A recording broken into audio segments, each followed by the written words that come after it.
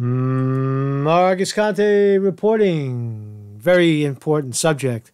We're going to talk about election fraud, election fraud in our country. What is election fraud? Hey, Google, what is election fraud? According to Wikipedia, electoral fraud, sometimes referred to as election manipulation or vote rigging, is illegal interference with the process of an election, either by increasing the vote share of the favored candidate, depressing the vote share of the rival candidates, or both. Oh, so do we have that in our country? No, right? We have free and fair elections in our country, right? Isn't it democracy and one vote, one person, right? It's all right. But fucking no. We have rigged elections. The Democratic primaries are rigged. The general elections are likely to be rigged using rigged machines, right? Do we have evidence? Do we have proof? Is it a conspiracy theory? No. Is actual evidence, actual in courts of law, the DNC has admitted their fraud right out in the open. So I want to relitigate this because it's fascinating because Bernie Sanders raised $6 million in two days, right? So is he a viable candidate? Yeah, he's the front runner now because he raised the most money. Right? So, but there's also another school of thought that are pissed off, still pissed off. This is very, very important because if you don't think that um, that I don't know if, if if it doesn't interest you about election fraud in our country, then you know shut it off, go somewhere else. You wrap yourself in Trump. Oh, I love my Trump, right? There's also people that love their Bernie, right? But there's also another group of people that are Bernie a bust that are never in. You know, you could they won't. They're not going to give a dollar to Bernie Sanders, you know, unless you hold a gun to their head.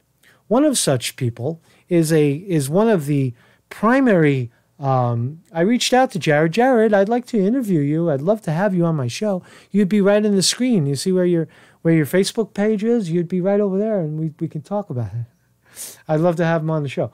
But the the this is what uh, Jared um, put out, and he's one of the guys that's pissed off that Bernie Sanders is a fraud and a fake and a Russian, you know, whatever. Right. So let's see what he says. Block. this is Jared on his page yesterday. I'm blocking every brainwashed idiot who wants to tell me to be selfless by giving my hard earned time and money to another fake Bernie Sanders, quote, presidential campaign. Just get the hell away from me and don't come back. I sued the DNC for fraud in 2016. Two witnesses dropped dead, and your precious Bernie didn't lift a finger. I have no cares how you choose to waste your time and money, flush it down the toilet for all I care, while you engage in your pathetic Bernie fantasies. Just get your brainwashed zombie cultish shell of an existence far away from my orbit. Wow.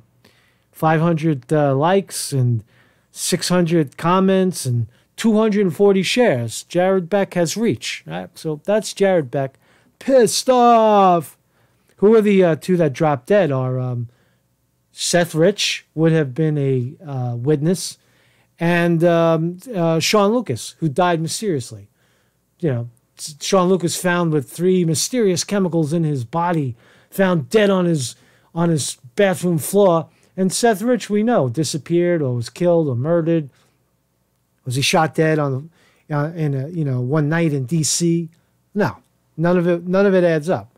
Uh, so, it, how just how so that was that date. By the way, was uh, we're going to look at the, the the details of the fraud, but let's let's just get a little preliminary first before we go forward. So this is Jared 16 hours ago. This is going to be H.A. Goodman, August 25th, 2017. Jared's on the show. He's sitting with his wife, Elizabeth. Uh, so it's a little after after they got the shaft. Right after right after they got the shaft. Yeah, I mean, you know, I'll tell you, the way that I see things is this. You have This is also when H.A. Goodman was still uh, I don't know, still still on the side of reality, I guess. A wonderful couple in in you guys battling a very corrupt machine, and then you have just utter morons who are quote unquote journalists like Dave Weigel at the public well, let me, relations let me, firm. Let me tell you something about that because this is this what really disappoints me about our society, Ha, is the fact that we had two witnesses die in this case, and I still have these pe- fucking people who call themselves journalists mocking us. Okay, There was actually a third because one of the prosecutors, uh, that black prosecutor guy, I forgot his name, ended up in the river, ended up in the ocean. They threw him into the water. So Shawn Lucas, three bodies, three bodies. Shawn Lucas, Seth Rich, and the uh, the prosecuting attorney. denigrating us for being concerned about that. And, you know, it goes beyond a lack of awareness in this country. This country has a vicious, corrupt core, okay? And the most vicious, corrupt people are sitting in DC right now, running the show and forming the media uh, elite and establishment that surrounds and protects them and promulgates their bullshit all over the airways. And I am sick and fucking tired of living in this country and having those be the people that run the show. Okay? All right? Because I've got two little kids.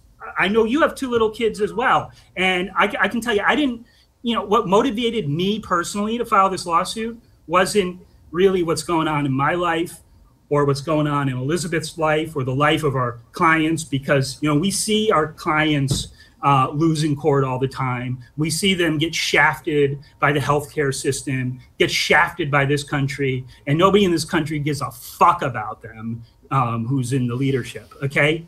And let me tell you something.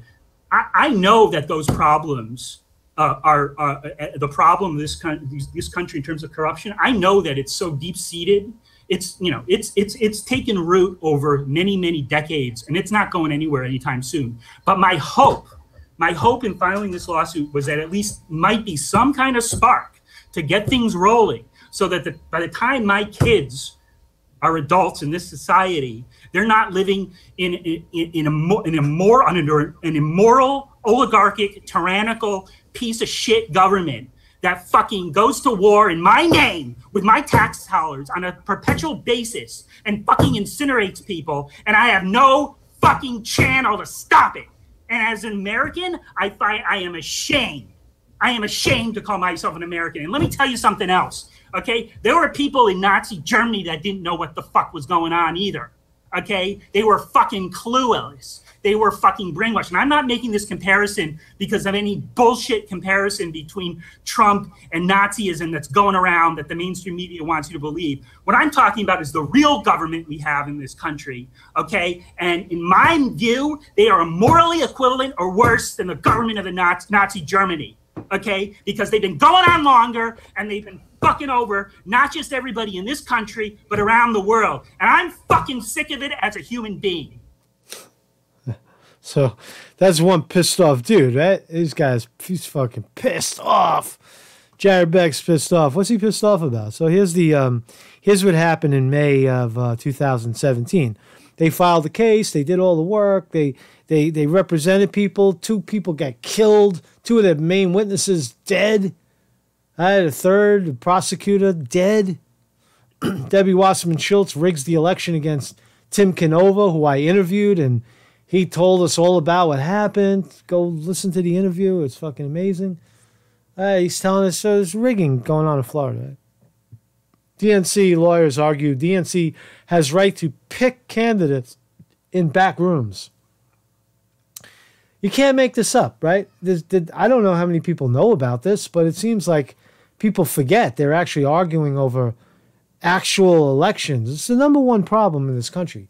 Without elections, without fair elections, how do you get the voice of the people uh, voiced? You don't. Right?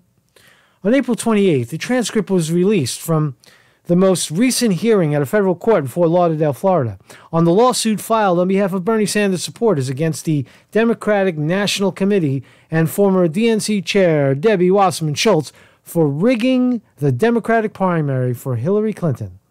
Throughout the hearing, lawyers represented, representing the DNC and Debbie Wasserman Schultz doubled down on arguments confirming the disdain the Democratic establishment has towards Bernie Sanders supporters and any entity challenging the party's status quo.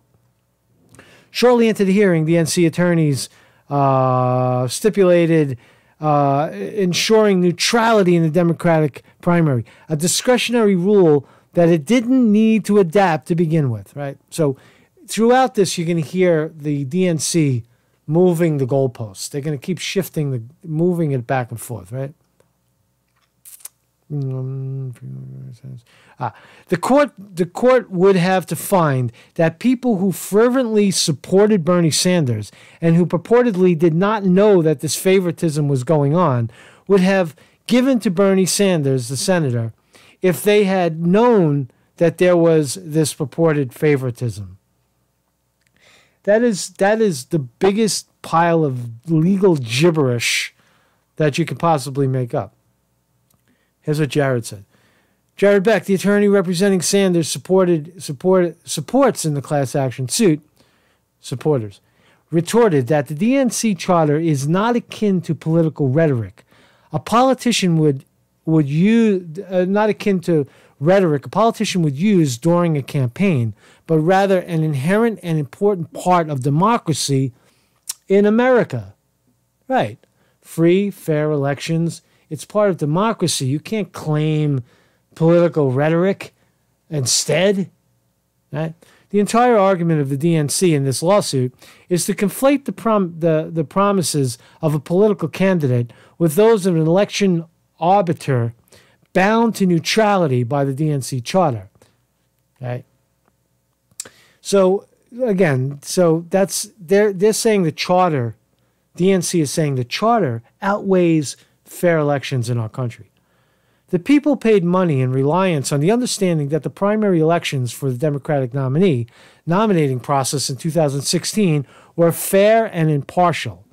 And that's just that's not just a bedrock assumption that we would assume just by virtue of the fact that we live in a democracy and we assume that our elections are run in a fair and impartial manner.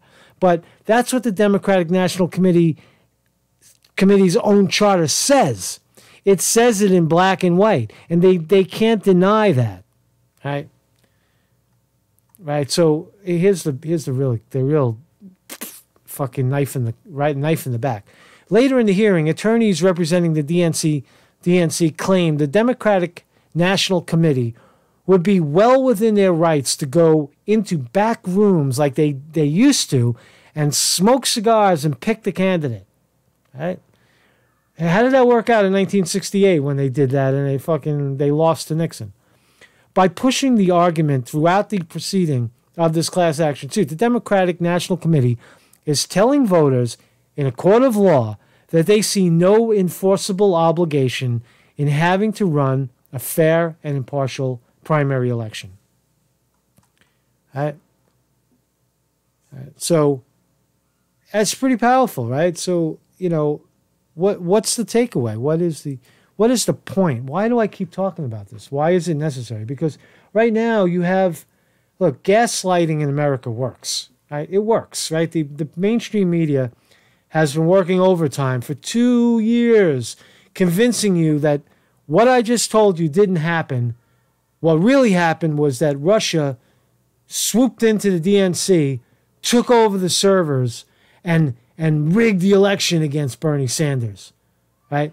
And and did it all across the country. Everything that happened, everything was Russia, right? And and a lot of people believe it, right? There's so many people that even today are still saying, smart people are saying, yeah, yeah, well, you know, Russia had something to do with it, right? Trump was involved with Russia, right? So Trump's involved with Russia, and the Russians hacked the election there's so many details that they fail to to account for. Uh, DNC law, the DNC servers were never inspected by the FBI.